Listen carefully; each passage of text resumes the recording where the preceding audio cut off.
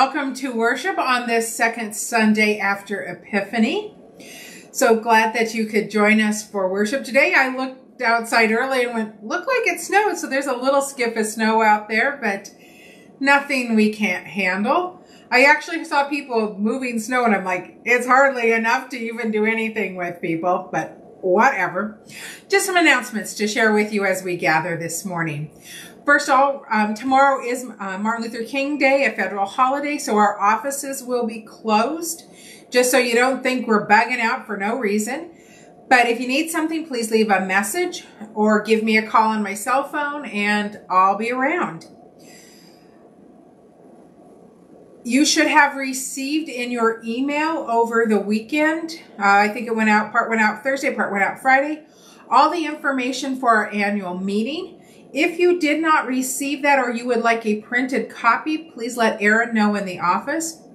And also related to that packet going out, this is kind of the official notice that um, the constitutionally required annual meeting of the congregation is set for Sunday, January 31st at 1 p.m. to elect um, a church council, to approve a budget and all other matters that need to come before the congregation. All voting members and folks who hang out with us are invited to be part of that. It will have to be by Zoom because we are not permitted to have large gatherings. And I can't implore you enough, please come. We have to have a quorum in order to conduct business. So please, please, please make an effort to be there. I will be sending out a Zoom link next week so it doesn't get too buried in your emails. If you do not have it by, let's say, Wednesday, please give me a call and I will get you one. You do not have to be on the computer to use Zoom. You can call in on the phone and there's information on the Zoom link on how to do that. So please um, help us, help us together be church and be part of that.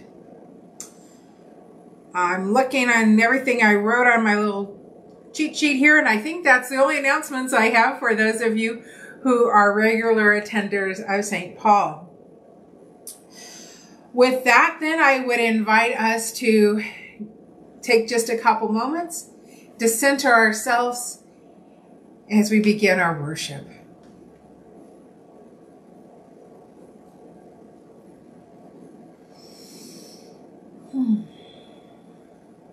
Please join me in the confession and forgiveness.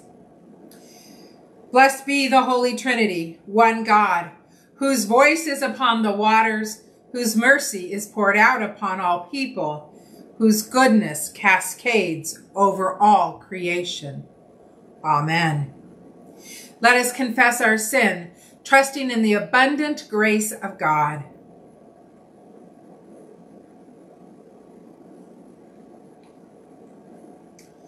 Holy God, you search us and know us.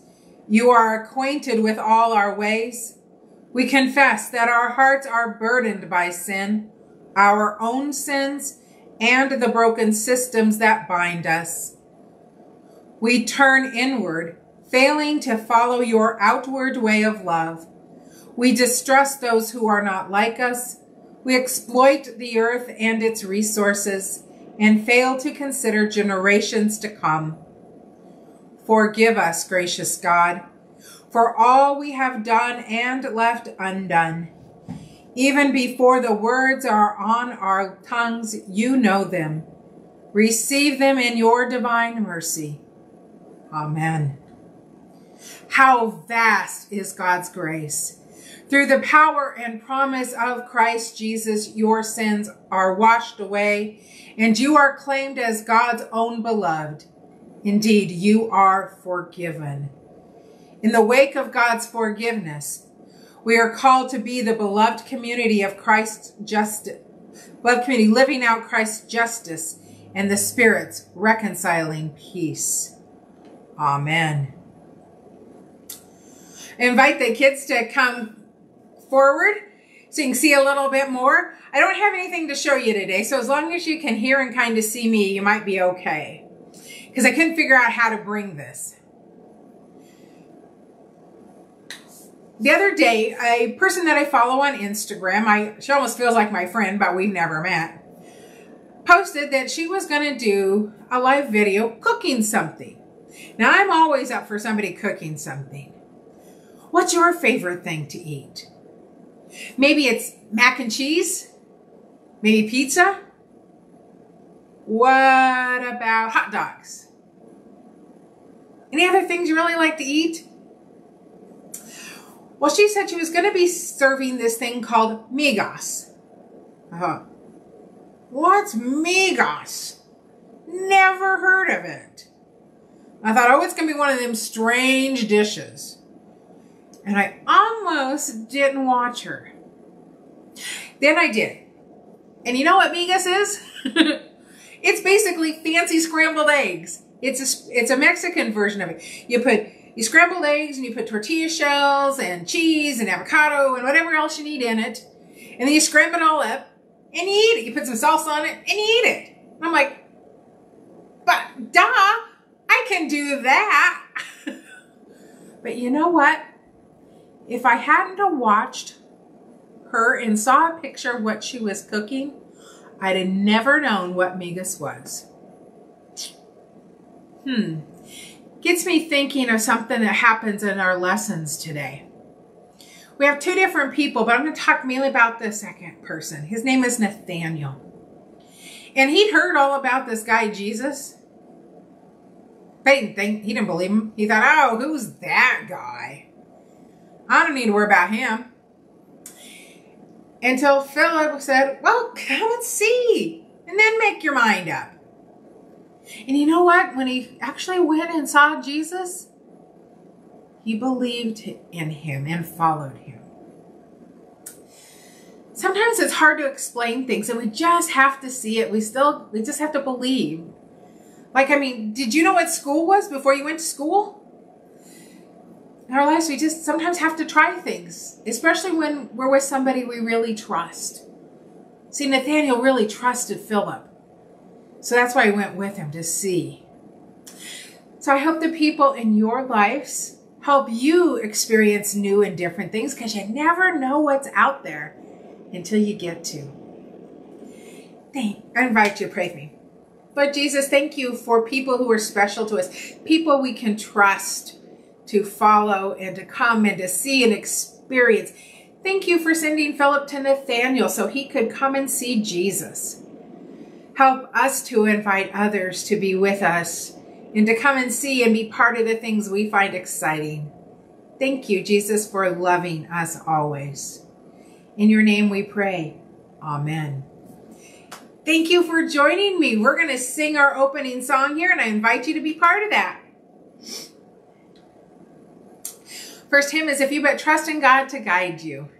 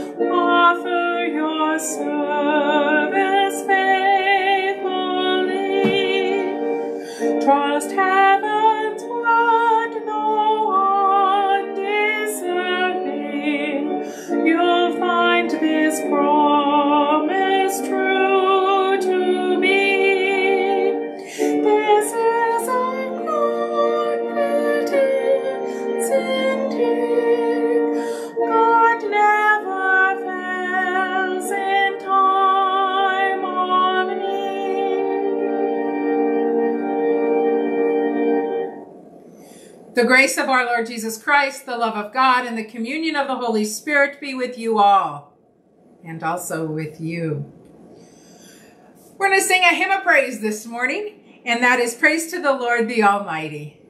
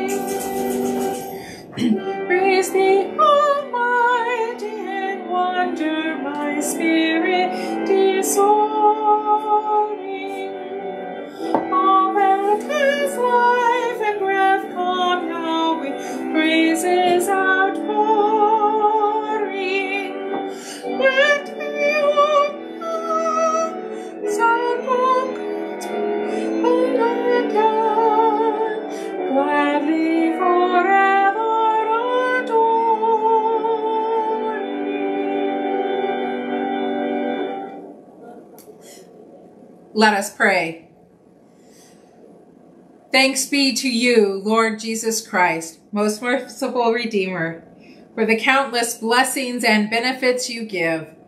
May we know you more clearly, love you more dearly, and follow you more nearly. Day by day praising you with the Father and the Holy Spirit, one God, now and forever. Amen. Our first reading is from the book of Samuel, the third chapter. Now, the boy Samuel was ministering to the Lord under Eli. The word of the Lord was rare in those days. Visions were not widespread. At that time, Eli, whose eyesight had begun to grow dim so that he could not see, was lying down in his room. The lamp of God had not yet gone out, and Samuel was lying down in the temple of the Lord, where the ark of God was. Then the Lord called, Samuel, Samuel. And he said, Here I am, and ran to Eli and said, Here I am, for you called me. But he said, I did not call you. Lie down again. So he went and lay down. The Lord called again, Samuel. Samuel got up and went to Eli and said, Here I am, for you called me. But he said, I did not call you, my son. Lie down again. Now, Samuel did not yet know the Lord, and the word of the Lord had not yet been revealed to him. The Lord called Samuel again a third time, and he got up and he went to Eli and said, Here I am, for you called me. Then Eli perceived that the Lord was calling the boy. Therefore Eli said to Samuel, Go, lie down, and if he calls you, you shall say, Speak, Lord, for your servant is listening. So Samuel went and lay down in his place. Now the Lord came and stood there, calling as before, Samuel, Samuel. And Samuel said, Speak, for your servant is listening. Word of God, word for life. Thanks be to God. Our responsive reading this day or psalm is from Psalm 139, selected verses. Lord, you have searched me out. O Lord, you have known me. You know my sitting down and my rising up. You discern my thoughts from afar. You trace my journeys and my resting places, and are acquainted with all my ways. Indeed, there is not a word on my lips, but you, O Lord, know it altogether. You encompass me behind and before, and lay your hand upon me. Such knowledge is too wonderful for me. It is so high that I cannot attain it. For you yourself created my inmost parts, and you knit me together in my mother's womb. I will thank you because I am marvelously made. Your works are wonderful, and I know it well. My body was not hidden from you while I was being made in secret and woven in the depths of the earth. My eyes beheld my limbs, yet unfinished in the womb. All of them were written in your book. My days were fashioned before they came to be. How deep I find your thoughts, O God. How great the sum of them. If I were to count them, they would be more in number than the sand. To count them all, my life span would need to be like yours. Here ends our psalm. Our gospel reading this day is from John's Gospel, the first chapter. Glory to you, O Lord. The next day, Jesus decided to go to Galilee. He found Philip and said to him, Follow me. Now, Philip was from Bethsaida, the city of Andrew and Peter. He found Nathanael and said to him, We have found him about whom Moses in the law and also the prophets wrote, Jesus, son of Joseph from Nazareth. Nathanael said to him, Can anything good come out of Nazareth? Philip said to him, Come and see. When Jesus saw Nathanael coming toward him, he said of him, here is a true Israelite in whom there is no deceit. Nathanael asked him, Where did you get to know me? Jesus answered, I saw you under the fig tree before Philip called you. Nathanael replied, Rabbi, you are the Son of God. You are the King of Israel. Jesus answered, Do you believe because I told you that I saw you under a fig tree? You will see greater things than these. And he said to him, Very truly I tell you, you will see heaven opened and the angels of God ascending and descending upon the Son of Man. The Gospel of the Lord. Praise to you, O Christ. Ah, and so it starts. Know, one thing all of the Gospels agree on is that one of the first things Jesus does as he begins his earthly ministry is he calls people to follow him, to be his disciples. And today we have the first of a few call stories that we'll look at in these Sundays after Epiphany. Jesus may be the Son of God and divine and all that, but the one thing he is not is a lone wolf. Essential for Jesus is bringing others with him in his public ministry. But we shouldn't be all that surprised about that. I mean, if it's public, that means people. So you somehow you got to get people involved in this. So how do people get in? How do they get in on this Jesus thing? How do you get to be part of this life-changing work that God's doing? Well, first of all, realize that Jesus isn't doing anything wildly new here. He kind of stands in consort with the way God has always worked to call people no matter what specific time you're looking at, whether it's that call of the young Samuel in the Old Testament or Jesus, you know, calling his first disciples, the one thing you notice is that nobody gets in without God's initiative. For Samuel, it's that voice calling in the night.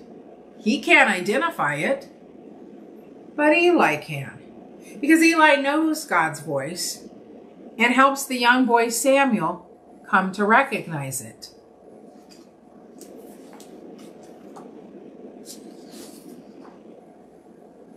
For the would be disciples, it's Jesus walking up to them and calling them by name and offering them an opportunity of a lifetime.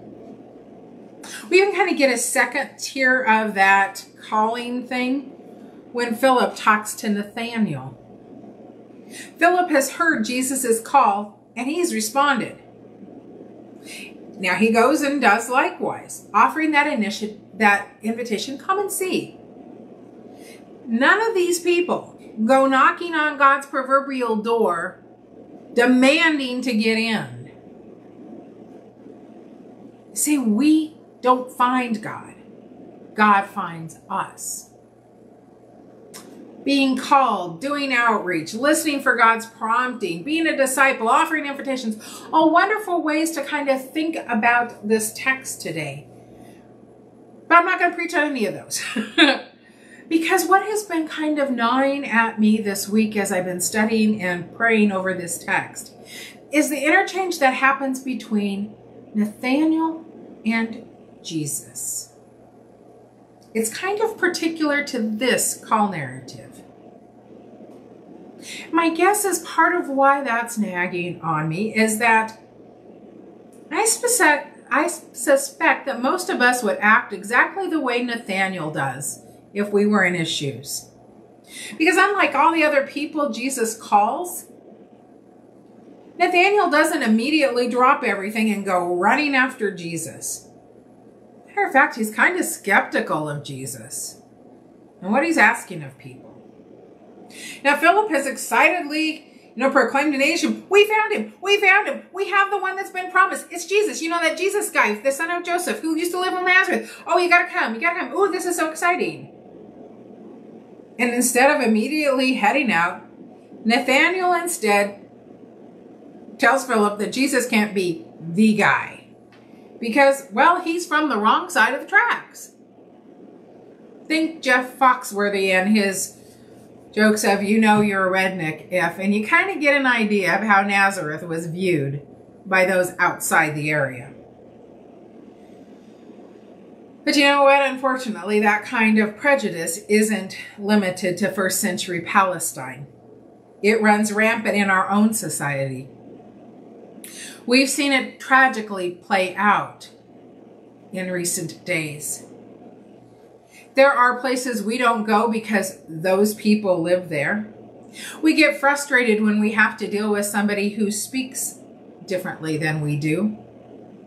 I received an email and some social media posts yesterday from reliable sources like bishops and other pastors warning churches who are streaming from their buildings not to do so this morning because of domestic terrorist threats that had been made against churches viewed as more liberal. I trust that our community is better than that. We are Colville together, and we cannot let differences tear us apart. Our community won't survive if we do. So in light of all that, I guess I get Nathaniel's response. Can anything good come from? Insert your favorite marginalized community there. Now to his credit, Philip doesn't try and argue or even answer Nathaniel's questions. He doesn't make excuses, doesn't explain things. He simply says, come and see. He knew he couldn't change Nathaniel's skepticism. So he simply suggested that Nathaniel come and see for himself and then decide. That's when things get interesting. Because Jesus meets Nathanael and he makes the comment, Here is this Israelite in whom there is no deceit. And tells Nathanael he saw him hanging out by a fig tree. And Nathanael is so blown away by that statement that he declares that this guy standing in front of him is the Son of God and the King of Israel. His skepticism flips to discipleship like that. Now, one thing that might help here a little bit is in Jesus' day, that phrase being under the fig tree was often used by rabbis the way we might talk about having a quiet time, to refer figuratively to being in prayer or meditation. So Jesus is saying, Hey, I saw you praying. I heard you talking to God. You see, Nathaniel thought his prayer was personal, only between he and God, and now here's Jesus who knows it all. And that changes Nathaniel's mind. Jesus, though, is a bit kind of amused by this. And he basically says, Really? That's all it took? Say I saw you under a fig tree and now you believe? Hmm. if that's all you want, just wait. You are going to be blown away, Nathaniel. He assures Nathaniel that even in his skepticism, he is still loved. But you know, as we identify with Nathaniel, some tough questions get posed for us. Is our vision of Jesus limited as well? Are we so impressed by the small things that we can't fathom the greater things God is doing in our life or what God has in store? Is Jesus too confined? For instance, like if you're praying for something, especially something big in your life, do you expect God to answer it? Now, I don't want to short circuit our theology here because we do indeed earnestly pray, not my will, but thy will be done. Yet I have to ask, do you believe that God wants to lavish on you grace and abundance, wholeness and acceptance? Do you believe that God can really take on our major, major circumstances and change them? Do you believe that God can take the worst sin and cleanse it? Cleanse you? Cleanse us? Are you keeping your standards kind of low so that just about any crumb will do? Animals, when they've been starved, they will snap and snip and grab any crumb they can and will attack other animals. They do it to survive. Do we view our discipleship and our prayer life, our Christian walk, the same way? Don't get your hopes up because God just might disappoint you. Nathaniel's picture of Jesus was small, and Jesus invited him to come and see and be blown away. Jesus invited Nathaniel to see God's majesty play out in Jesus' own life, death, and resurrection. Each healing, each freeing of the demonic from the demonic spirits, each lesson taught reinforced that God cares and is restoring all things, including our divine relationship. Jesus' resurrection is the big exclamation point on it. God is still in the blowing away business. Jesus does not call us to come and fight over crumbs, but to come and see the bounty of God. Doesn't mean there won't be challenging times or that every prayer will be answered the way we want. What it does mean is that the heaven is open and that we're invited to see the power and glory of God active now in our world, changing it, changing us. It's a huge picture of an even bigger God who still knows your name. Please pray with me. Holy, expansive, nurturing God, every time we learn something new about our world, how truly vast and complex it is, our image, our knowledge, our experience of you grows we stand in awe of even the smallest part of you that we know and can only imagine what's yet to come. Keep us from shrinking that image, from making you too manageable, and open us up to the amazing, great things you are about. Give us the courage to invite others to come and see and be as amazed as well. As they are in accord with your will, O God, we ask these things in Jesus' name. Amen.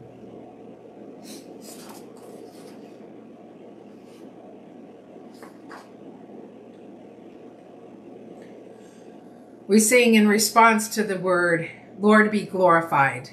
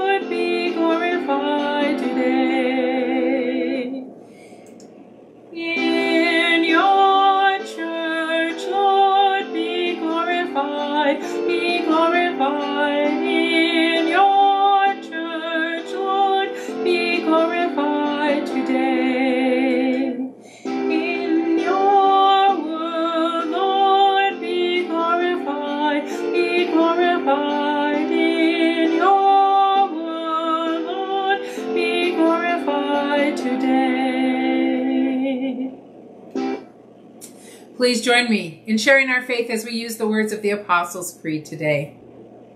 I believe in God the Father Almighty, creator of heaven and earth. I believe in Jesus Christ, God's only Son, our Lord, who was conceived by the Holy Spirit, born of the Virgin Mary, suffered under Pontius Pilate, was crucified, died, and was buried. He descended to the dead. On the third day he rose again he ascended into heaven. He is seated at the right hand of the Father, and he will come to judge the living and the dead. I believe in the Holy Spirit, the Holy Catholic Church, the communion of saints, the forgiveness of sins, the resurrection of the body, and the life everlasting. Amen. We now turn our hearts to prayer. Each petition will end with, let us pray, and I invite you to respond back have mercy, O God. Let us pray for the whole church according to their needs.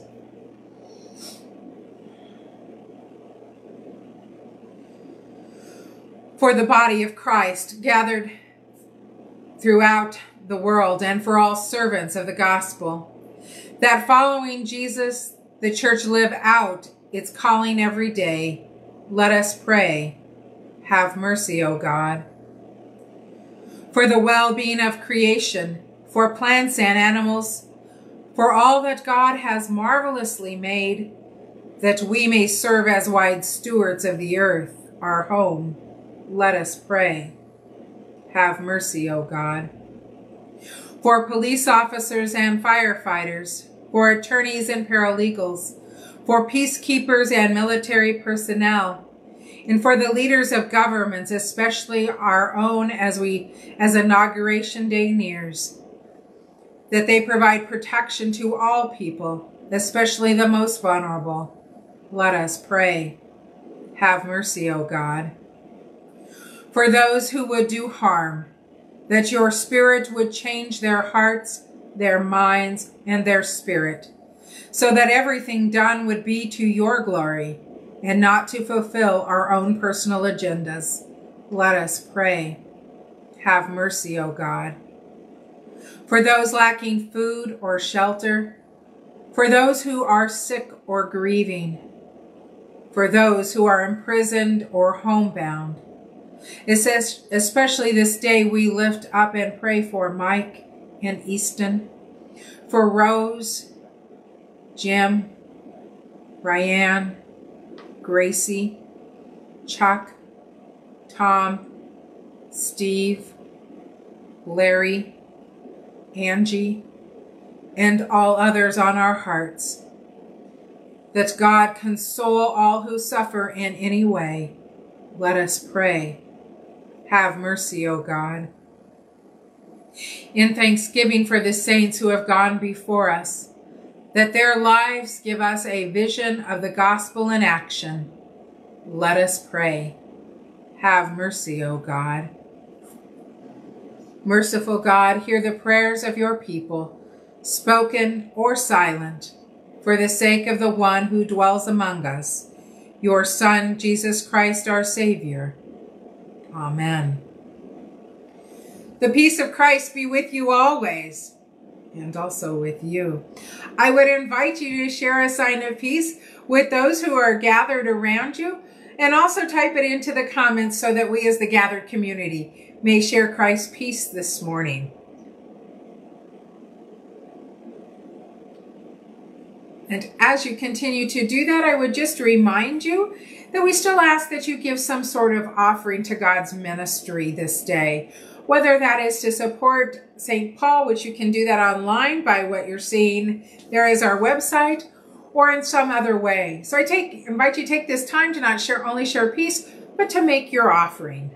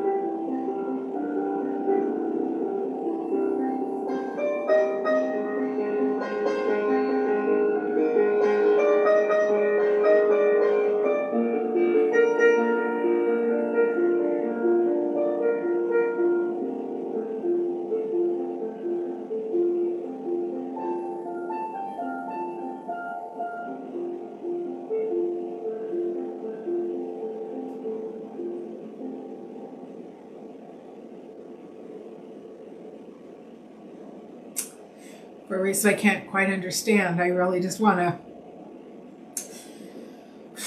reach through the camera right now and give you all a hug. So please feel that. Let us pray. Oh God, receive these gifts as you receive us. Like a mother receives her child with open with arms open wide. Nourish us anew in your tender care and empower us in faithful service to tend to others with this same love. Through Jesus Christ, your, our saving grace. Amen. For those of you who would like to participate in Holy Communion with us, please make sure that you have your home altar set up with bread and wine or those forms of the elements that you can take and join us. The Lord be with you and also with you. Lift up your hearts. We lift them to the Lord. Let us give thanks to the Lord our God. It is right to give our thanks and praise. Please take the bread in your hand and join me, whoever is presiding in your home. In the night in which he was betrayed, our Lord Jesus took bread, gave thanks, broke it, and gave it to his disciples, saying, Take and eat. This is my body given for you. Do this for the remembrance of me. Please take the cup in your hand and join me. Again, after supper, he took the cup, gave thanks, and gave it to all to drink, saying, This cup is the new covenant in my blood, shed for you and for all people for the forgiveness of sin. Do this for the remembrance of me.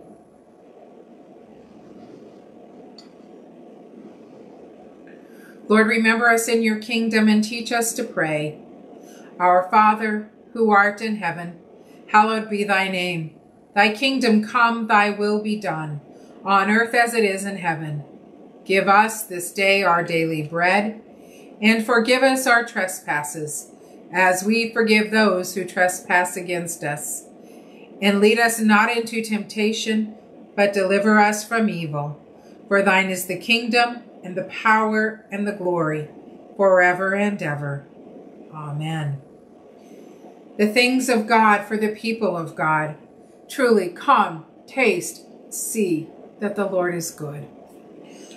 I would invite you, wherever you are, to commune one another in this time.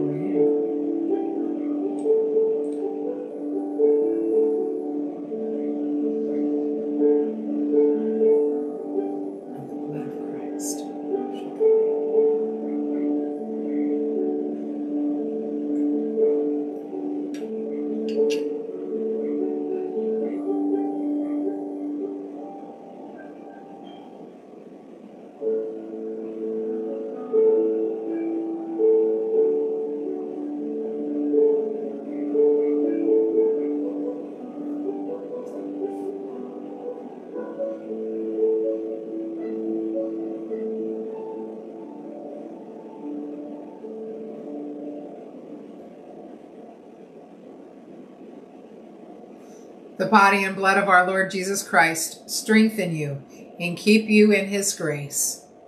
Amen. Let us pray. Christ Jesus, at this table we have feasted on your very life and are strengthened for our journey. Send us forth from this banquet nourished in body and in spirit to proclaim your good news and serve others in your name. Amen. God, the Creator, strengthen you. Jesus, the Beloved, fill you. And the Holy Spirit, the Comforter, keep you in peace. Amen. We close today by singing together our last hymn, which is Just As I Am.